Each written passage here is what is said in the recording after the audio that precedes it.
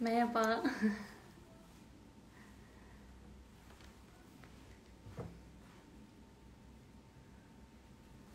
Hoş geldiniz.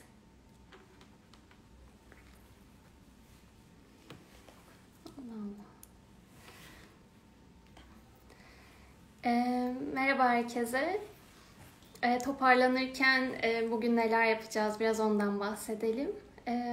Ben Serra Muradoğlu bu arada psikoloğum.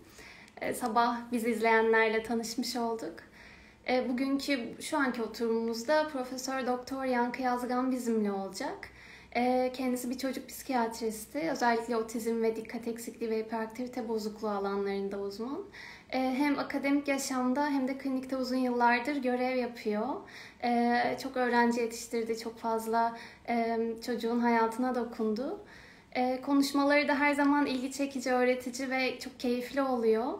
E, düzenlediğimiz bir sempozyumda bizimle diyabetle yaşam ve kronik stres e, konulu bir konuşma yapmıştı. E, bugün de kendisiyle ergenlik yokuşunu kolaylaştırmak için öneriler konulu bir sohbet yapacağız. Şimdi bakalım kendisi burada mı?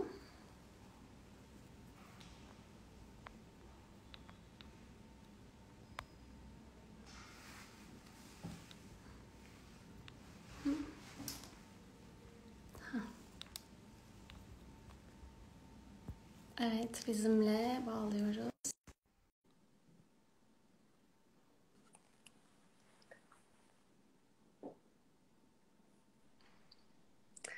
Merhabalar. Merhaba, merhaba Hoş herkese. geldiniz Yankı Bey. Nasılsınız? Hoş bulduk. Teşekkürler Serra. Sizlerden ne haber? İyiyim ben de, sağ olun.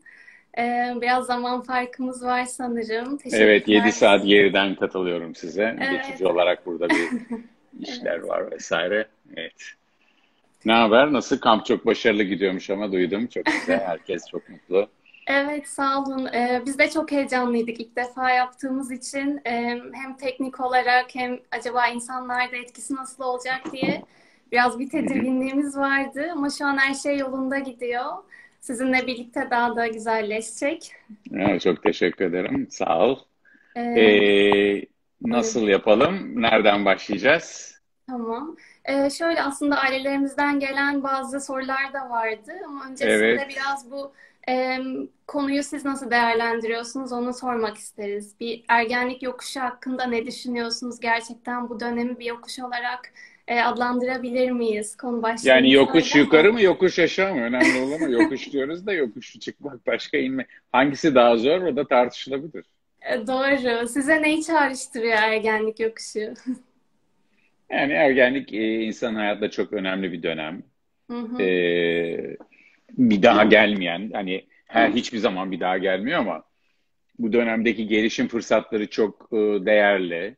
Ee, yani sen de biliyorsun mesleğin gereği e, özellikle e, insanın e, kimliğini bulduğu, kim olduğunu, nasıl birisi olduğunu aradığı, yani bulduğu demeyelim ama aradığı Hı hı. ve bu konuda e, birçok ipucunu e, kullandığı bir dönem. Bir sürü kişiyle örneğin yaşamda başkalarıyla birlikte olmayı öğrendiğimiz kritik bir zaman.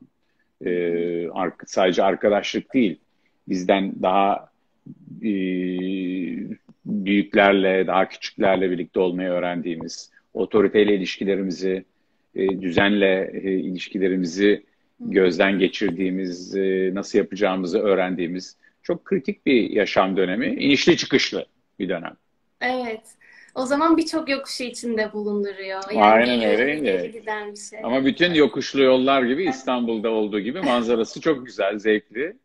E, çıktıktan ya da çıktığında da güzel yerlere çıkıyorsun, indiğinde de. Yani bu mümkün. Yani bunu sağlamak tabii herkes için aynı ölçüde e, harika geçmeyebilir ama birçok kişinin gençliğiyle ilgili, ergenliğiyle ilgili hatıraları en azından hatırladıkları kısım harika. Ee, ama e, o sırada onların annelerine babalarına sorarsan e, aynı duygular içinde değiller. Yani zor olduğunu hatırlıyor birçok kişi. O zorluk da daha çok biz büyükler olarak, anne babalar olarak işler kendi istediğimiz gibi olsun istiyoruz. Hı hı. Bir hayalimiz oluyor. Ve ergenlik işlerin pek hayallere göre gitmediğinin artık kafamıza biraz dank ettiği bir zaman. E, çünkü çocuklar tabii ki bizim çizdiğimiz çizgiler çok çok önemli yetişkinler olarak ama yani hayat kontrol edilebilir bir şeydi. E, rahmetli Profesör Doktor Engin Geçtan'ın deyimiyle hayat sipariş edilemez. Yani evet, biz evet. yani öyle yemek sepetinden yemek ister gibi çocuk gelmiyor yani insana. Orada bile, bile sosu şey fazla oluyor, yanlış koyuyor. Evet. İşte patates istemiştik, fasulye koyuyor falan. Doğru. Evet yani aslında dediğiniz gibi herkes için e, kolay veya böyle keyifli anılar olmuyor veya o zaman için en azından öyle hatırlamıyoruz da sonrasında biraz daha keyifli olanlar aklımızda kalıyor.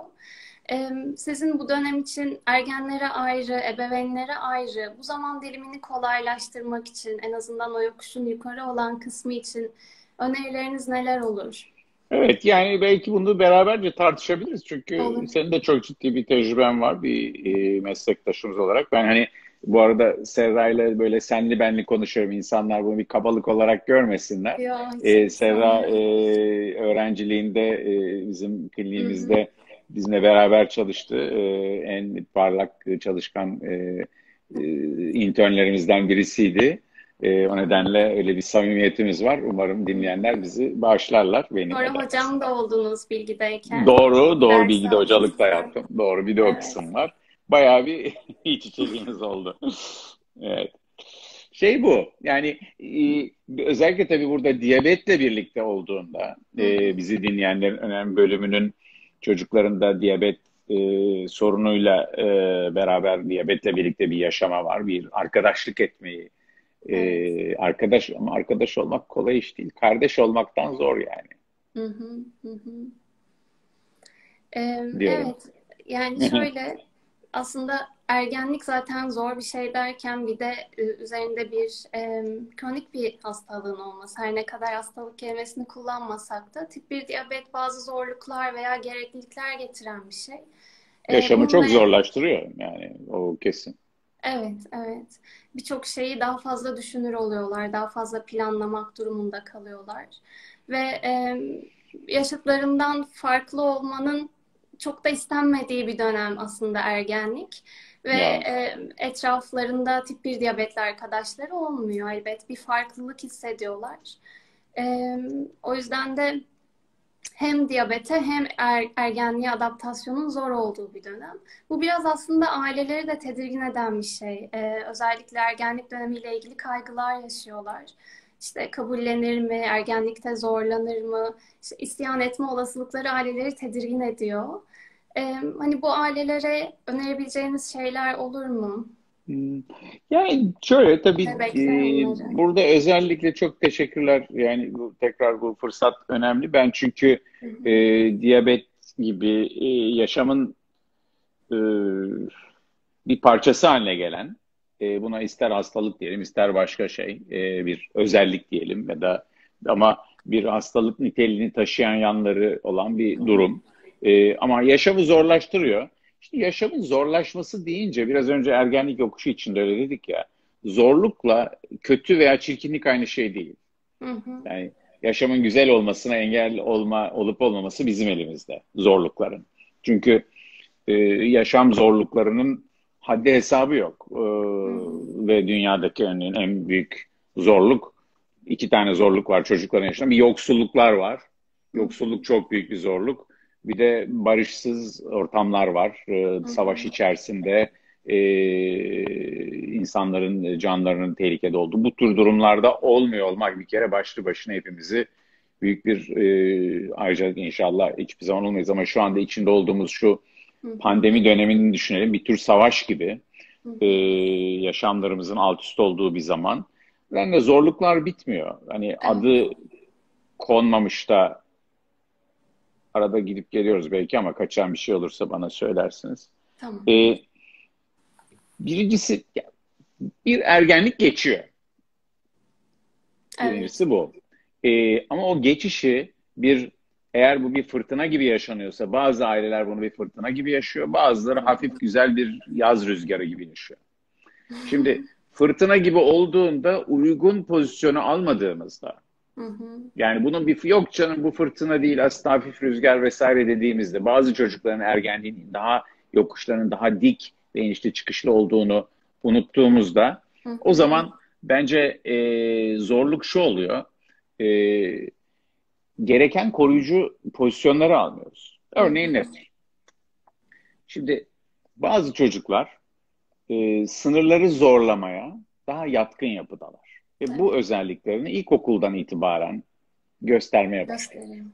Yani ergenlikte birdenbire gece e, saat 12'de gong çalınca ertesi gün bambaşka bir karakter ortaya çıkmıyor. Hı hı. İşte problem olacak durumlar genellikle ben geliyorum demiş oluyor.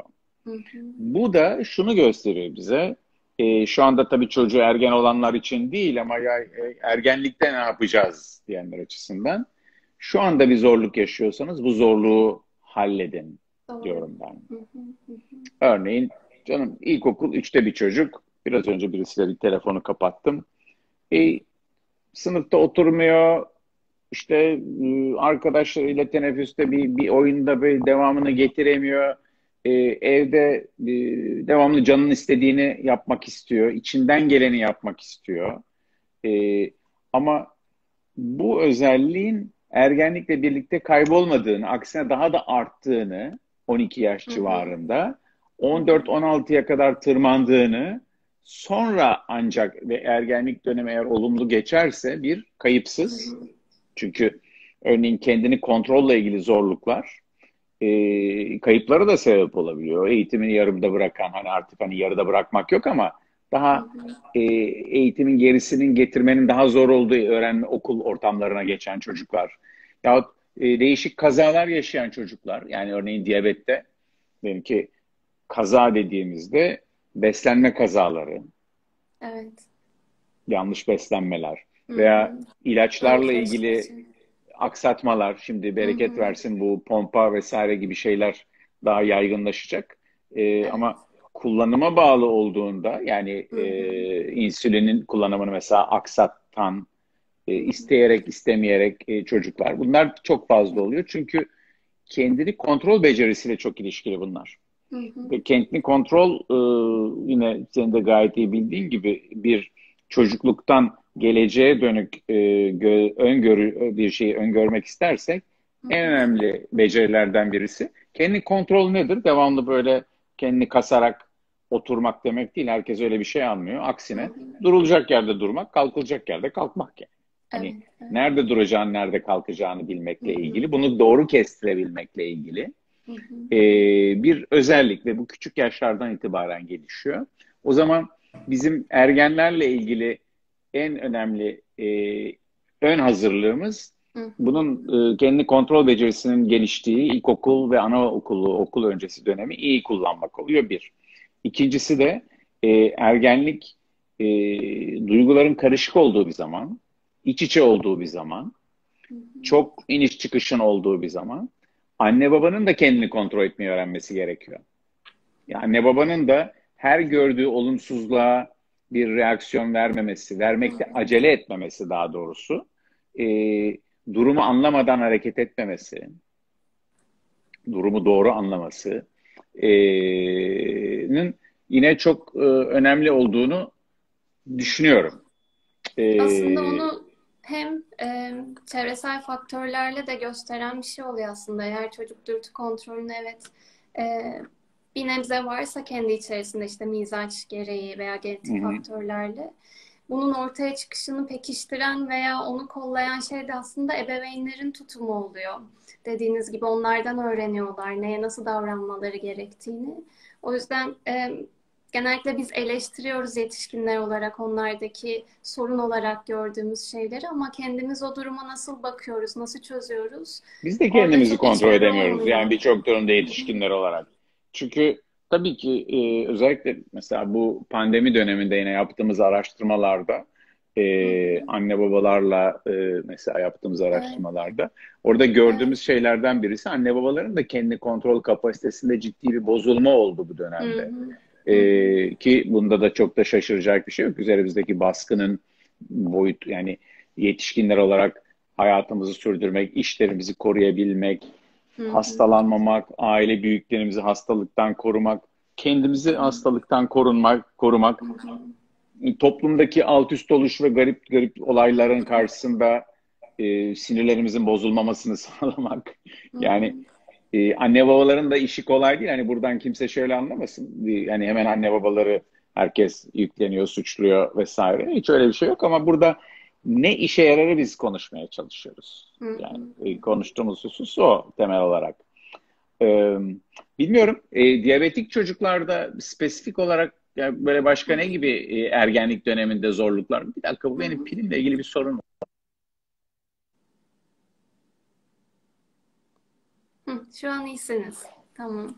Evet. Ee, şöyle aslında ergenliğin farklı konulardaki yankısı diyabette de şöyle oluyor. Ee, yine sınırları denemek, e, görmekle ilgili bir problem oluyor örneğin işte. Ee, her ne kadar bilinçli olarak yapmasalar da insülini yapmazsam ne olur veya geciktirirsem ne olur? Peki bu öğünü yemeğim ne olacak? Ee, bunları belki fark etmeden yapıyorlar ama o sınırların yeniden keşfini biz görüyoruz ergenlerde. Ee, veya bu otoriteyle olan e, işte zorlanmalar, diyabet de aslında bir otorite onların hayatında. Bir şeyi ne zaman yemesi gerektiğini söyleyen, ne zaman ölçmesi gerektiğini söyleyen.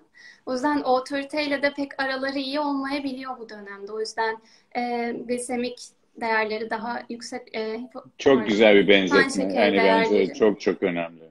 Evet, evet.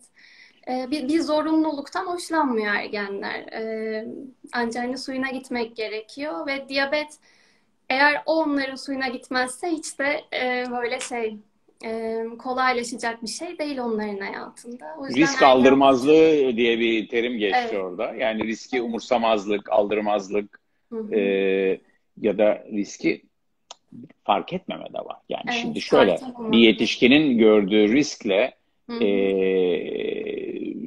bir gencin gördüğü risk aynı değil. Çünkü biz belli bir yaşamışlıkla konuşuyoruz.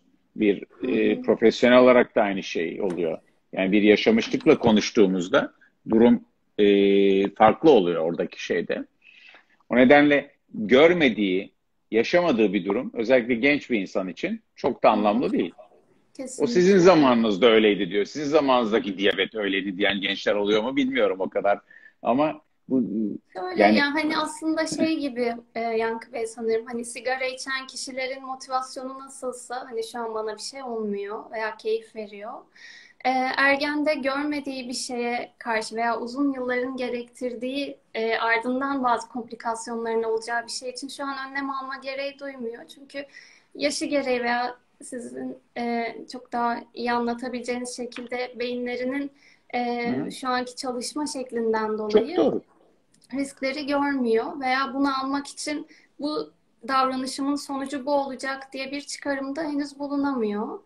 Ee, beyin bu da- gelişimine değindiğin iyi oldu Serra pardon. E, çünkü orada şöyle bir şey var. Aslında riski görebilse bile Hı hı, evet. bununla ilgili bir fren sistemi çok güçlü değil. Hı hı, İki, e, bir de gençlerin moral bozukluğuna tahammülü aslında düşündüğümüzden daha az. evet. evet. Negatif. Çünkü gençlik ve ergenlik yine mesela depresyonun çok sık görüldüğü bir yaş dönemidir. Çünkü gençler düşündüğümüz kadar böyle neşeli, çalıp söyleyen bir grup değildir. Neş- gençlik e, aslında insanın daha hafif hüzünlü olduğu, e, bir parça hani çocukluğun bitmiş olması, yaşamın bekleyen sorumlulukları düşünsenize yaptığımız o yıllarda geçtiğimiz sınavlar, bilmem neler, e, mesleğin seçimi e, yani o sayısız yaşam belirleyici e, kararın alındığı bir dönemde insanın böyle çalıp söylemesi çok kolay değil. Ya da çalıp söylüyorsa bile evet. o biraz Ağustos böceğinin çalıp söylemesi gibi oluyor. Evet. Çünkü yapacak bir şey yok. Yani çaresizlikten bir bezginlikten de kaynaklanan yanı var yani oradaki Bir şeyde. kitap vardı e, biliyorsunuzdur belki Ergenlik ve Merhaba Hüzün diye. Evet. Evet. evet çok güzel bir kitaptır. O da çocukluğun kaybedilmesinden duyulan hı. hüzündür. Hı hı, Çünkü giden geri gelmeyecek olan bir şey çocukluk. evet. Yani ve bunu e, ilk kaybediş anı şimdi hepimiz kaybetmiş, geçmişte kalmış vaziyette ama e, o taze olduğu, üzüntünün taze olduğu da bir zaman dilimi çocuklardan. Yaz dönemi, evet. Bir, bir büyümeme çabası e, gibi yorumlayan e, meslektaşlarımız da oluyor. Yani bazı çocuklarda bir büyümeme, Hı. çünkü büyüme ve olgunlaşmanın getirdiği sorumluluklar ve diyabeti olan çocukların e, büyük bölümüne biz erken yaşta örneğin e, beslenmeleriyle ilgili e, kendini kontrolleriyle ilgili beklentiler verdiğimizde aslında bir çocuk için taşıması zor beklentiler de veriyoruz. Hı hı. E, yapmaları gerekenler yani büyük başarı gösteriyorlar çocuklar. Hı hı. Yani her uydukları kural, her e, yaptıkları enje, enjeksiyonu Aynen ben öyle, pozitif olarak görüyorum. Yani Kesinlikle. kaçırdı arada, onu yaptı. E, Yani Allah aşkına kim yapmaz bunu? Evet, evet. Çok haklısınız. Yani aslında ebeveyn olarak veya yetişkin olarak gözden kaçırdığımız şey biraz bu. Hep problemlere odaklanan, hep bir şey yapılıyor ama peki bu neden yapılmıyor diyen taraflarımız o anlarda ergene iyi gelmiyor. Halbuki ya evet günde üç ölçüm yaptın ama bunu nasıl başardın? Neden iki değil, neden Müthiş bir üç şey. yapabildin? Evet. Yani e, Seracığım yetişkinlerde mesela ilaç kullanımı değil mi? Basit bir işte tansiyon ilacı veya kolesterol düşürücü. Hı hı, Hepimizin yani kullananlarımız var, annemiz, babamız, ailemiz. Kaç kişi bunu ne kadar düzenli kullanıyor? Bu arada bu çocuklar okul hayatını sürdürüyorlar, sosyal hayatı sürdürüyorlar. O nedenle yapılmamış olanlar tabii önemli. Yani aman canım kullanmasın dediğimiz yok elbette. Ama yapabilmiş olduklarının başarısını, keyfini de yaşatmamız çok çok önemli. Hı hı. Ee, yoksa devamlı eksik yapan, devamlı hep bir şeyi yapamamış durumda olmak Hı hı. insanı çok kötü hissettiren bir şey. Bizim kültürümüzde birazcık da olan bir şeydir bu. Yani değil mi? Çocuk diyelim ki iyi bir not alır, 100 üzerinden 95 aldık diyelim. Yüz Ee, alan var mı diye sorarlar. Evet. Evet, aynen öyle. Çünkü hepimizin annesi babası bunu sormuştur. Peki işte Ahmet kaç aldı? Hani böyle sınıfta daha iyi bilinen bir çocuk. Mesela o 94 aldıysa sevinirler falan. Bizimki birinci oldu. Yani anlatabiliyor muyum? Bu bunu yadırgamıyorum yani. Ben bunu kötü bir şey olarak da tanımlamıyorum ama bunun farkında olalım çocuklarımıza Hı ne hı. hissettirdiğini. Sadece söylediğimiz o. Yoksa elbette. Ee, diyabetik çocuklarda biraz literatür araştırması da yaptım hani bugünkü konuşmamız öncesinde. Tabii ki emosyonel diye tanımladığımız e, anksiyete, depresyon gibi problemlerin belirtileri daha çok oluyor. E, çünkü bir yaşamın yıpratıcılığı daha fazla. Hı hı. E, büyük ihtimalle metabolik değişiklikler bunu kolaylaştırıcı etkileri e, olabiliyor. E, bir de ailenin genel stres düzeyi de çok yüksek olduğu için ailenin de destekleyicilik potansiyeli biraz etkileniyor diye düşünüyorum. Evet, evet. Yani evet araştırmalar gösteriyor eğer ebeveyn çocuk arasında diyabet spesifik tartışmalar varsa örneğin bu çocuğun diyabet bakımını olumsuz etkiliyor. O yüzden oradaki eleştirilere karşı çok dikkatli olmalıyız aslında. Eleştirmek yerine pozitif pekiştireçler vermek, yapabildiği şeyleri övmek hem ilişkiyi güçlendiriyor hem de çocuğun daha fazla asılmasını sağlıyor. Ve bu her kesin eleştiri işleyen bir tavsiye. Çok iyi bir tavsiye. Bu kesin işe yarayan bir tavsiye. Aa canım biz yapıyoruz diyenler iyi yapamıyorsunuz o zaman diyorum ben yani. doğru, doğru, evet. Değil mi? Herkes Aa, biz öyle yapıyoruz diyorlar. Hayır doğru değil yani. Yapmamış oluyorlar yani Ben o kadar açık geri bildirim veremiyorum da şu an Sen de kesinlikle 60 sizden yaşına de geçtikten sonra aynen verebilirsin. öyle, evet. Bizde Şükrü Hoca yapıyor o tarz Tamam. eleştirileri. Ee, aynen öyle. Şükrü Hoca bizi de takip ediyor şu anda. Ee, ben açık e, bu pandemi döneminde e, Sera senin ve Şükrü Hoca'nın fikirlerini de merak ediyorum. Başka ne- e, yani çocuklarımız, diyabetik gençlerimiz, çocuklarımızın e, durumu nasıl oldu? Onlar kendilerini acaba daha iyi koruyabilirler mi? Çünkü onlar hı. sağlık konusunda daha bilinçliler. Belki Evet. daha başarılı oldular kendilerini korumak konusunda başka çocuklara göre. Doğru. Aslında diyabetli olup olmaması hani e, Covid'e karşı savaşmakta veya onu ağır geçmek veya atlatmakla ilgili bir değişkenlik göstermedi. Hani e, Göstermedi. sistem Korkulduğu gibi olmadı. bunu gösteriyor. E, ne kadar hani çocuklarda görme olasılığı azsa onlarda da aynı şekilde. Bu biraz şöyle bir farklılık oldu. E, tabii ki herkes eve kapanınca özellikle e, küçük yaş grubundaki çocukların e, şekerleri daha düzgün, e, pardon yüksek grubun yüksek e, daha iyi gitmeye başladı şekerleri. Çünkü hmm. evdeki bakımla birlikte işte anne babaların desteği arttı. E, kaçamaklar belki biraz azaldı okuldaki örneğin. E, böyle bir etkisi oldu ama bir yandan da işte e, spor yapamamanın, dışarı çıkamamanın da biraz olumsuz etkisi oldu. Daha fazla insülin kullanımına sebep oldu gibi. E, iki yönlü aslında. Evet yani tabii evdeki pasta çörekler de arttı diye duyduk yani birçok şeyde ama ev pasta evet. çöreğinin bence kalitesi... Hamur makineleri arttı doğru. evet. Pandemi İnsanlar sürecinde okula dönüş evet. araştırmasından da bahseder misiniz diye bir not var orada. Bizim yaptığımız evet. bir çalışmayı izlemiş bir e, dostumuz. Evet ben de çok isterim paylaşmanızı. Şükrü Hoca da ev yemekleri olumlu etkiledi diyor. e, bence de. Yani ev yemeği hakikaten e, bu ara bir yolculuk seviyede çok dışarıda yemek zorunda kaldım yani böyle yani evdeki gibi değil kesinlikle dışarıda yediğin salatanın bile bence sağlık üzerine tesiri biraz negatif. Hmm. Ee, evde olduğunda hani baklava börek yesek bile bence daha olumlu. Her neyse. Ee, şey diyeceğim bu pandemi şimdi birçok aile e, bu konuda e, endişeli işte okula gidecek miyiz? Bir kere burada tabii e, gördüğünüz gibi e, bazı kararlar e, gözden geçiriliyor. E, sanırım hiçbir e, kamu otoritesi çocuklarımızı riske sokacak kararlar konusunda e, yani dikkatli olmaya çalıştıklarını görüyoruz. E, okulların bu online açılması, ertelenmesi. Diğer yandan tabii e, ben şu anda işte başka ülkelerdeki tartışmaları da e, izliyorum. Çocukların e,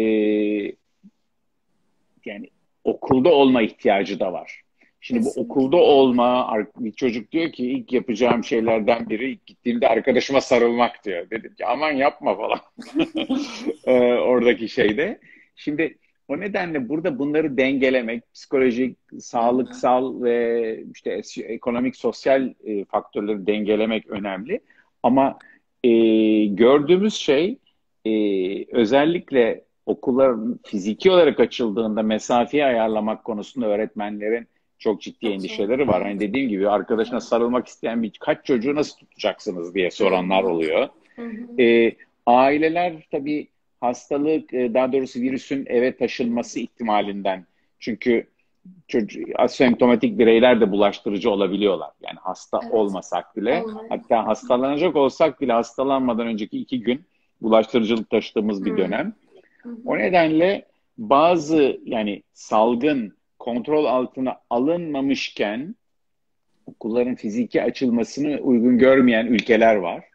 Mesela Amerika Birleşik Devletleri'nde aynı ülkeci biliyorsunuz orada bir eyalet sistemi var ve her eyalet kendinden sorumlu. Bazı eyaletlerde kontrol altında onlar kısmen açıyorlar. Bazı eyaletler hiç kontrol edememiş durumda. Bizdekine benzeyen rakamlar var vesaire e, onlar ne yapacaklarını düşünüyorlar. Bazıları inadını açacağız diyenler var. Siyasi e, faktörler dünyanın her yerinde rol oynuyor. E, karışık bir konu. E, öğretmenler çok yorulmuş durumda okula dönüş araştırmasında geçen yıl gördüğümüz. Çünkü e, bu metotla e, yani online metot çok güzel ama e, öğrenme açısından etkilerinin ne kadar olduğunu henüz ölçebilmiş değiliz. E, ve e, hani etkili bir eğitim yapılabiliyor mu?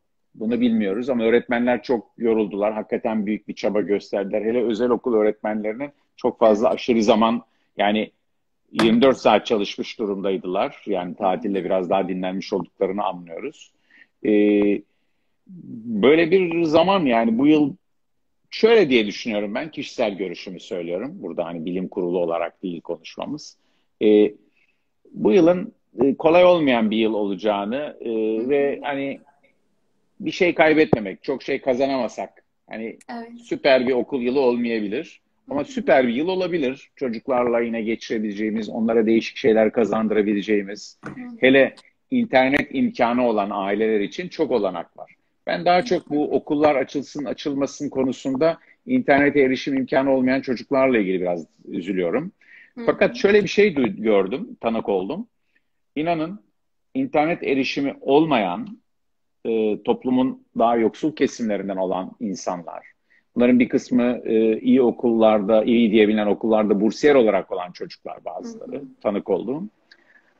Herkesten fazla gayret gösteren, e, bu konuda elinden gelen olanağı sağlayan, bazı büyükşehir belediyelerinin sunduğu imkanlar var, internet vesaire ile ilgili duyduğum kadarıyla ya da belediyelerin. E,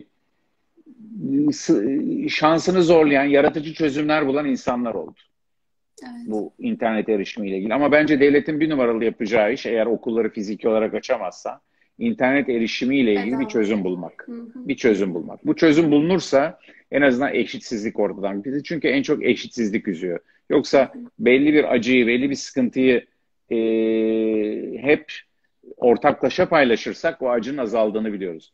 Bir tane de bir soru gördüm aşağıda. Bu ekran zamanını kontrol edemiyoruz ha, artık. Ben de onu not ediyordum. Evet. Hem gece evet. uykuları biraz zorlaşıyor. Yani geç saatlerde uyumalara e, sebep oluyor bu süreç. Hem de e, ev içerisinde çok daha hareketsiz kalma, işte elektronik oyunlara yönelmeyle ilgili.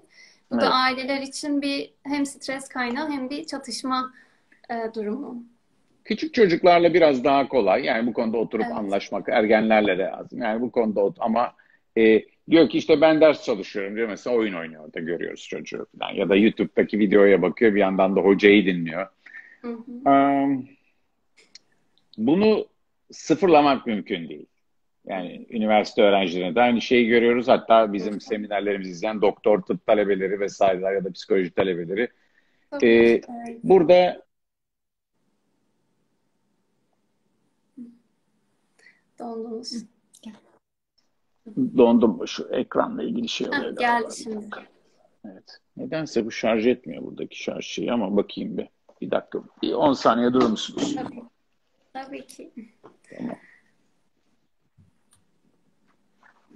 Şeyi getiriyorum da şarj aletleri hayatımızın önemli bir parçası da oldu değil mi? Şarj aleti evet. diye bir şey. Evet. Aman şarj aletimiz olmayacak falan diye çok korkuyoruz devamlı. Ee, şarjımız bitti diye e, telaş içindeyiz.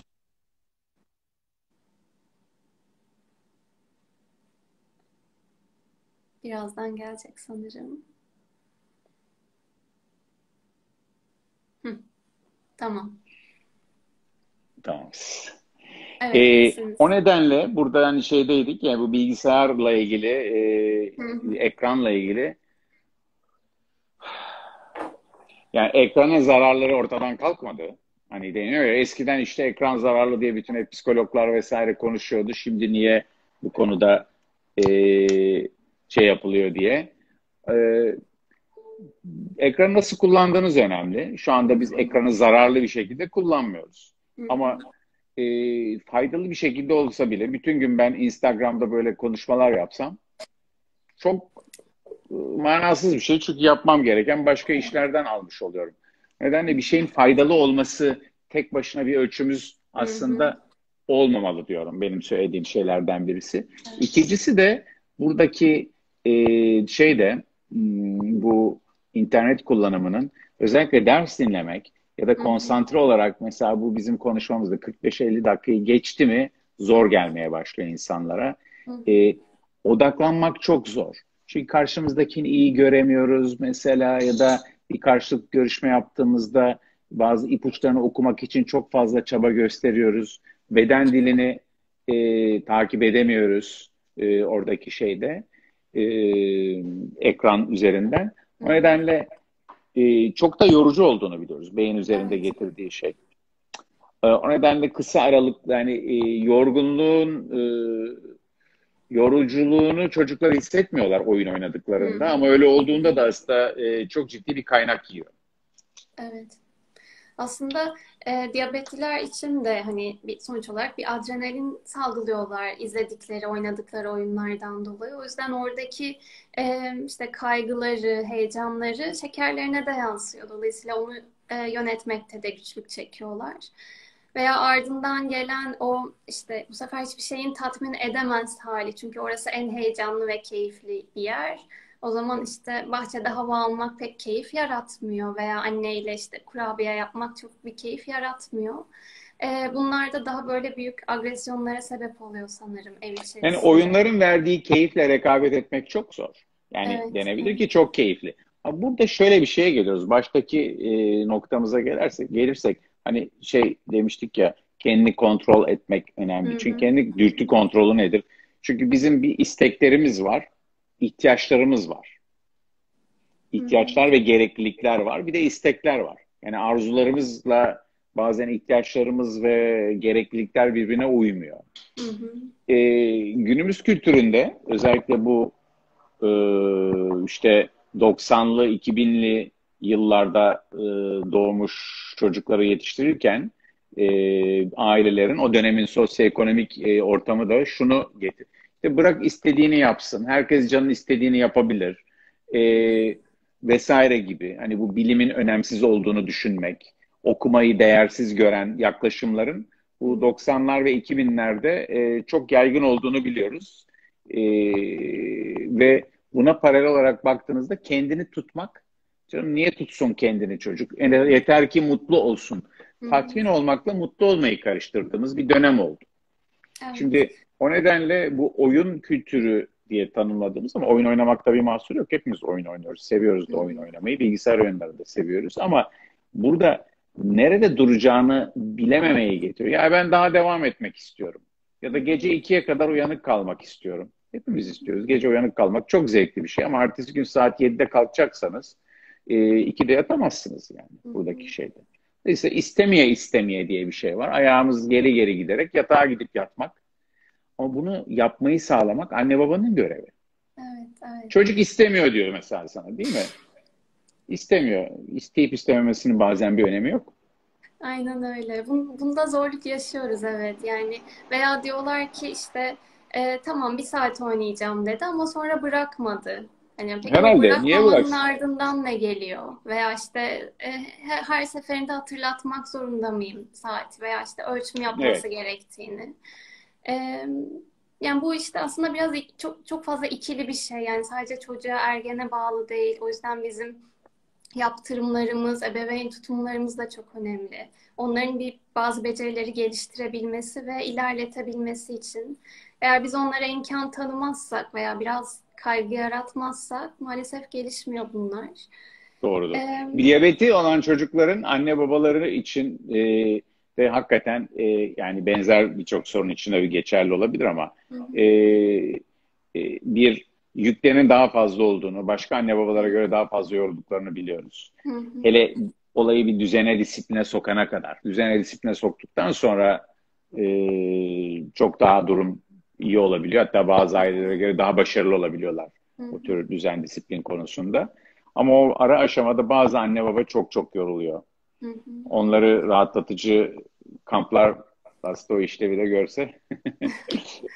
Evet, o yüzden e, aile kampları da bence bu anlamda ilgilenmeye başladı onlar. Hani yıllardır aslında çocukların, gençlerin katıldığı kamplar yapılıyordu.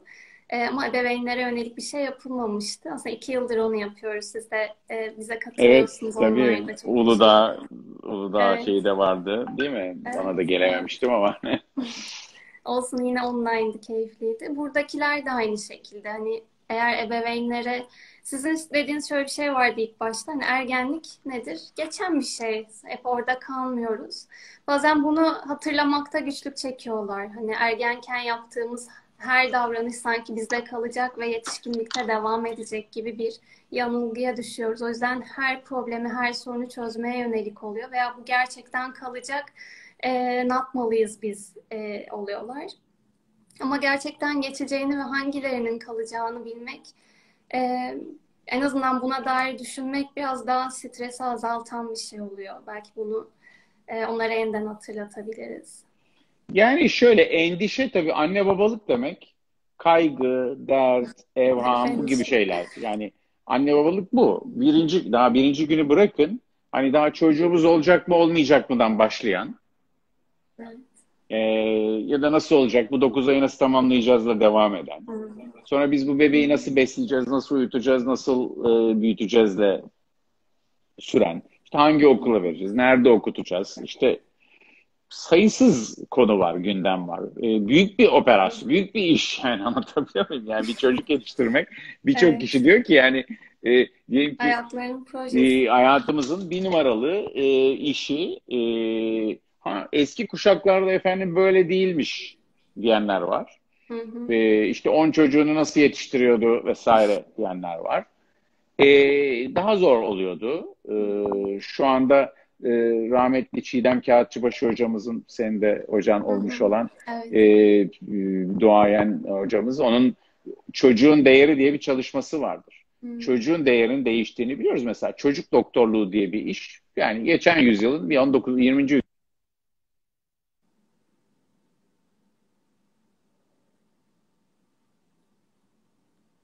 yüzyılın özel bir doktor bile yoktu. Ya da Türkiye'de ben hatırlıyorum. Bazen bunu yazılarımda da anlatırım.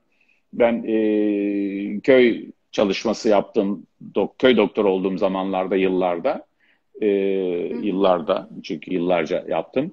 E, bu bir köye gittiğimizde, çocukları aşılamaya gittiğimizde e, Aa, keşke tavukları aşılamaya gelen veteriner olsaydınız diyen insanlar da vardı. Ama bu dönem değişti. Bu böyle değil artık. O insanların çocuk.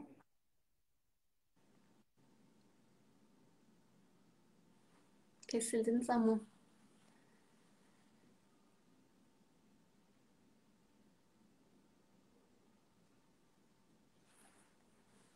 Dondu sanırım. Umarım Ee, gelirsiniz. e, yok bu, Biraz şey oluyor. sizi duyamadık Yankı Bey. Şeyden mi acaba? Ee, dedim ki çocuğun psikolojik değeri arttı. Kimse Evet, 10 tane evet. çocuk sahibi olma peşinde değil. Hı hı. Ee, ama e, yani çocuğun sayısıyla değil, çocuğun özellikleriyle değeri Hı artıyor. hı. Hı hı. Böyle bir zamandayız. Ee, Hı hı. o nedenle ben e, çok şeyin fark ettiğini düşünüyorum bu zaman diliminde.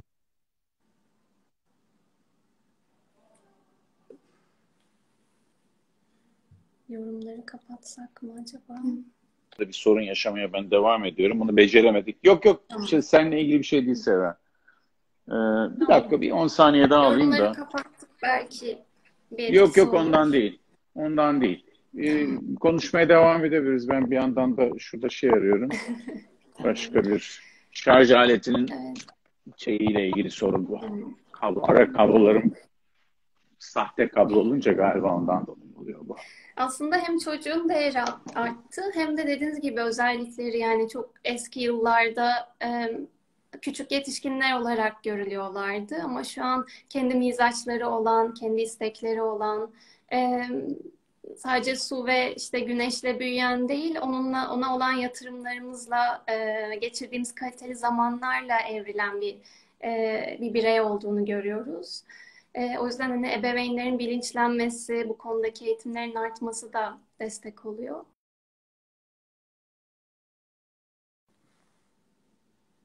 Hop gitti. Yeniden bağlayalım. Sorular. Bir dakika. Hı.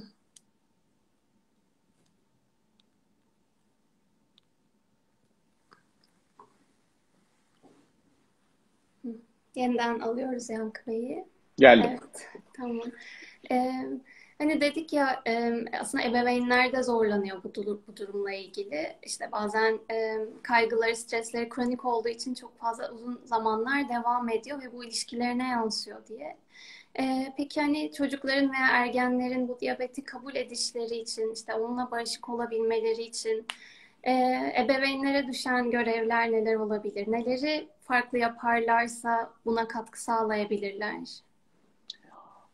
Ee, Yani buna aslında birçok kişinin çok güzel cevapları olduğundan eminim. Ee, ama benim genel olarak kronik gidişli hayatımızın gidişini etkileyen ve birçok bakımdan bize zorluklar çıkartan yani ek zahmetler çıkartan durumları kabul etmekte bir parça yavaş davranıyoruz. Hı hı. Ve kendimiz kabul etmediğimizde ana babalar Evet. olarak bunu e, çocuklarımızın da yaşamlarına bu e, durumun gerektirdiği değişiklikleri yansıtmaları zaman alıyor. Hı. Ben e, yatsıma diye bizim e, psikoterapi literatüründe olan yatsımanın yani problemin ciddiyetini hafifsemenin, bu iyimser olmaktan fark, yani iyimser olmak e, nedir? Evet. İyimser olmak problemi yatsımak değildir. İyimser olmak problemi kabul etmek ve onunla başa çıkabileceğimize inanmaktır.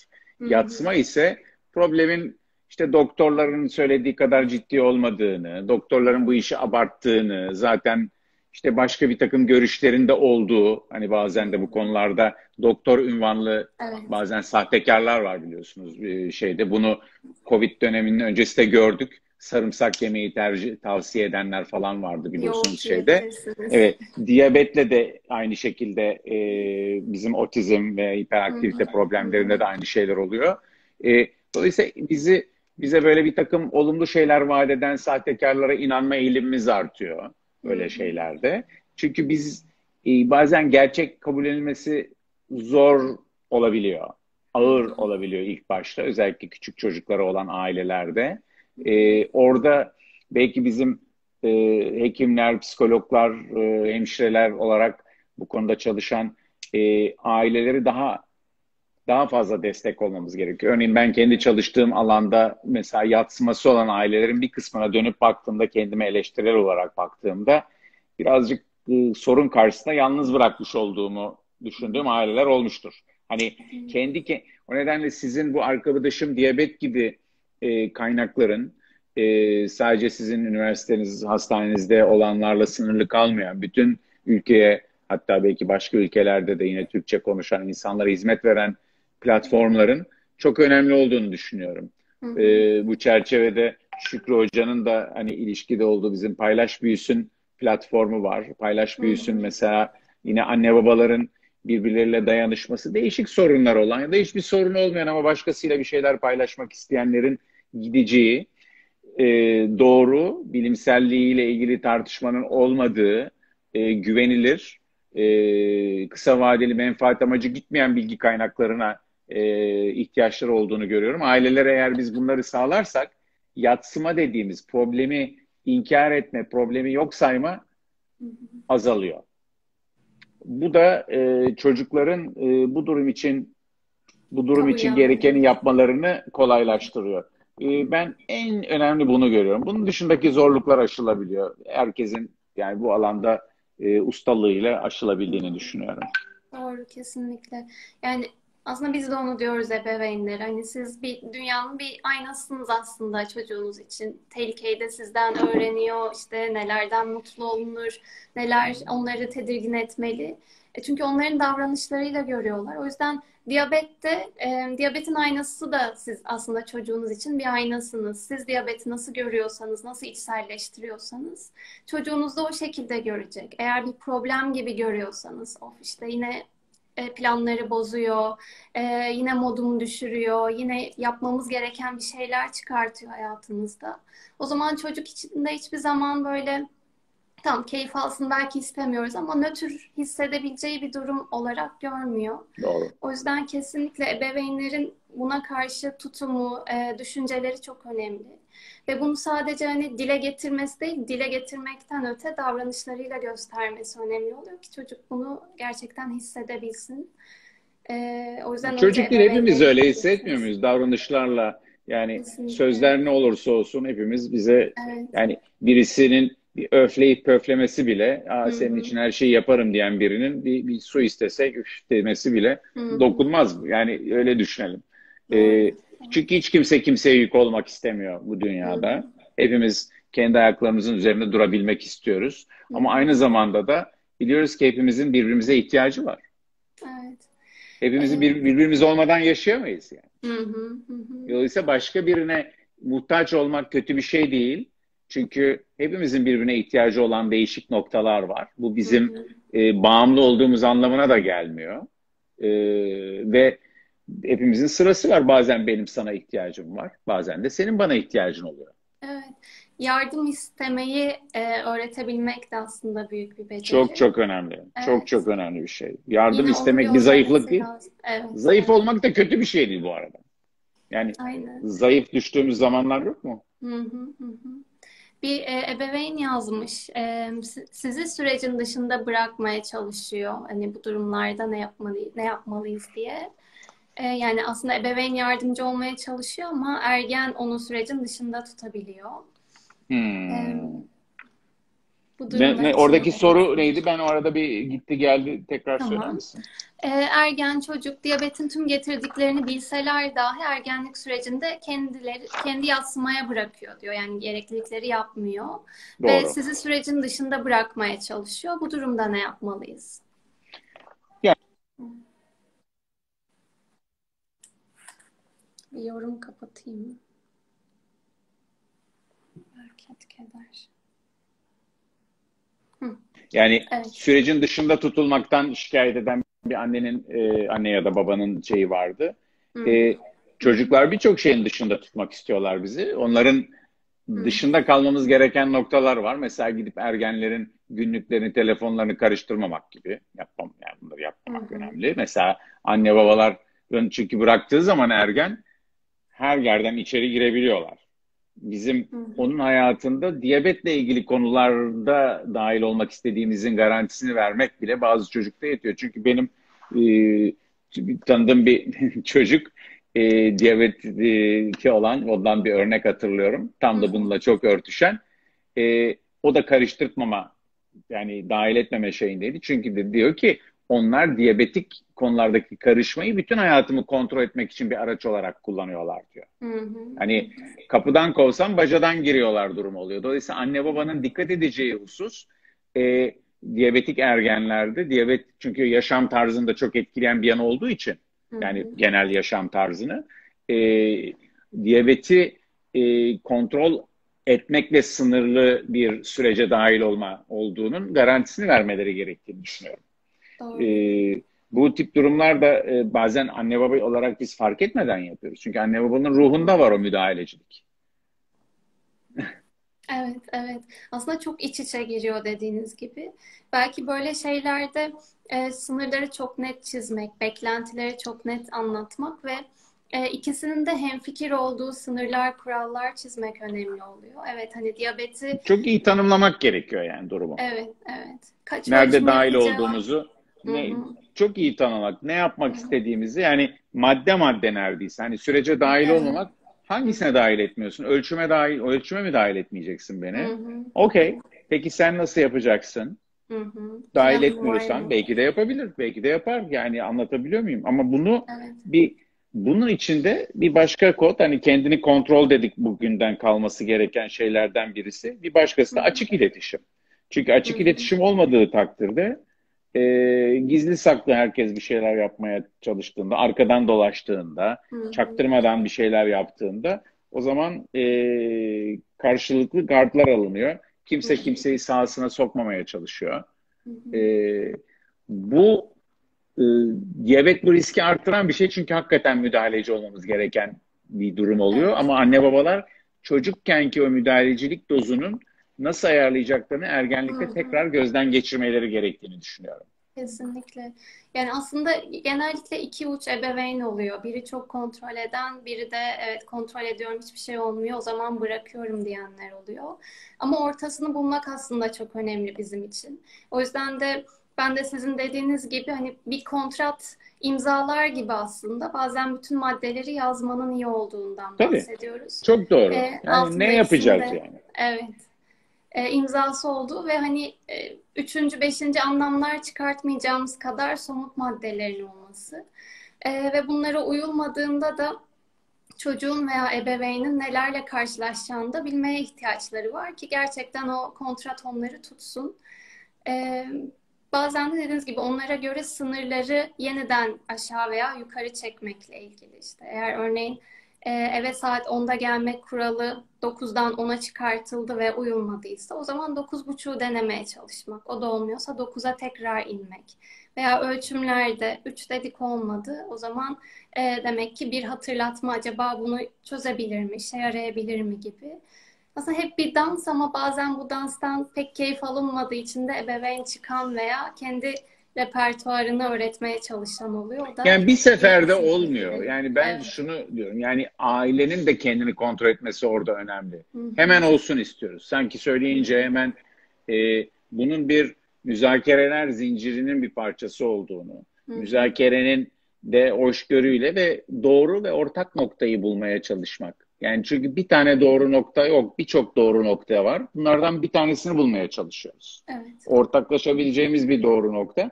Ee, bunun için emek gerekiyor. Emek de yoruyor. Günümüz aileleri, gündelik yaşamın yorucu. Hem istemiyorlar hem de bence çok da yorgunlar. Yani zaten yorgunlar. O nedenle yani yorulmak istememelerini böyle bir e, tembellik gibi de görmüyorum. Hani bir e, kaçma gibi ama hani bazen insan olur ya böyle elini kaldıracak hali olmadığı gibi anne babalar çok yorgunlar. Hı E, biraz önce hani öğretmenlerin çok yorgun olduğundan doktorlarla ilgili bir çalışmayı yeni tamamladık pandemi döneminde. Doktorlar, sağlık çalışanları çok çok yorgun, tükenmiş durumda. O nedenle bu tükenmiş durumda olan profesyonellerin evlerinde örneğin bir diyabetli çocukları olduğunu düşündüğümde e, ne kadar zor olduğunu görüyoruz. O nedenle gündelik yaşamımızda bizim yetişkinler olarak olabildiğince yaşam şartlarımızı düzeltmemiz e, de çocuklarımıza faydalı olmak açısından çok çok önemli. Hı hı. Çok güzel. Kendimize iyi bakmamız lazım. Evet, evet. Önce biz iyi olalım ki onlardaki e, Hakikaten öyle. zorlukları görelim e, Hakikaten veya öyle. iyi gelelim. Evet. Çok çok güzel geçti sohbet Teşekkürler E, sayende. Sizin sayenizde e, sonlara da yaklaşıyor bulunuyoruz. Evet, evet kesilecek şimdi birazdan. Evet. Son olarak aslında o zaman söylediğimiz şey çocuğunuzda bir zorlanma, bir problem gördüğünüz özellikle dürtü kontrolüyle ilgili, e, isteklerini öteleyebilmeyle ilgili veya kurallara uyumla ilgili. Bu her ne yaşta olursa olsun bununla ilgili bir destek almak, bunun üzerinde Kesinlikle durmak. bağımsız olarak Güzel. bunu bir e, mesele olarak kabul etmek yani. Evet, gittikçe aslında kar topu gibi büyüyor bunlar ve sonrasında daha zor e, dönemler yaşatıyor. Ve bu zorluklar da aslında herkes için normal. Bu hayatın bir parçası olsa da geliyor geçiyor. Ergenlik de aynı şekilde. Ee, Açık Ve iletişim ebeveyn- ve sınırlara Evet. saygı ve sınırları Hı. ortak belirleme ve net bir şekilde Hı. belirleme. evet ve Ee, değişebileceğini özellikle e, diyabet gibi müdahaleyi arttıran bir e, Hı hı. sorunun o yaşandığı bir ailede çok e, ergenlikte bilhassa ergenlerin bir ihtiyacı zıtlaşmacılığı genellikle bu sınırlara uymama doğuruyor. Evet, doğru. Peki. İşte böyle. Çok çok teşekkür ederiz Peki veda için. ediyorum. Herkese katılan çok sayıda kişiye de teşekkür ediyoruz. Ee, Sana Şükrü. Hatun hocamıza ve diğer oradaki isimsiz birçok insana, Evet, kahramana teşekkür paylaşanlara. Çok sağ olun, hoşça kalın. Görüşürüz, hoşça kal.